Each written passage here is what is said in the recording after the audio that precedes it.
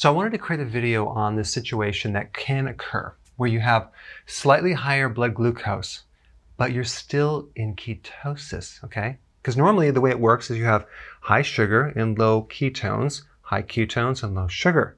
But what happens sometimes is your blood glucose might go up, but you're still in ketosis. So why does that happen? But before I tell you that, let me just get into why you might have high sugar uh, doing keto, okay?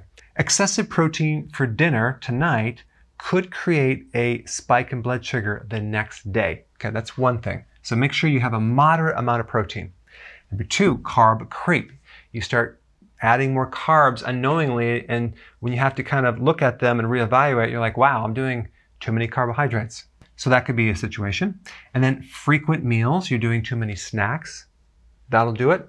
Or your cortisol is too high. So when people go through stress, okay, they're going to have higher levels of cortisol. The peak time of cortisol happens about 8 o'clock in the morning. So if you're actually checking your um, blood glucose in the morning at 8 o'clock and find that it's pretty high, it could be from the cortisol that is being spiked because your body's going through some stress or something. But typically for everyone, it'll be slightly higher. It shouldn't be that much, but it would be slightly higher. Nothing to worry about, but just make note of that.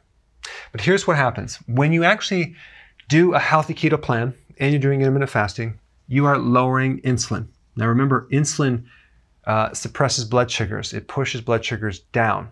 So now we don't have the quantity of insulin, but we still may have insulin resistance because that takes a while to, to correct in the body.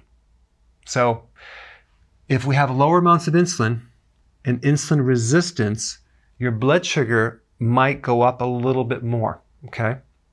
But you'll still be in ketosis. So you might still like show like uh, 1.0 or 1.2, 1.5 and your ketone levels uh, and have blood sugars that are 90 to 105.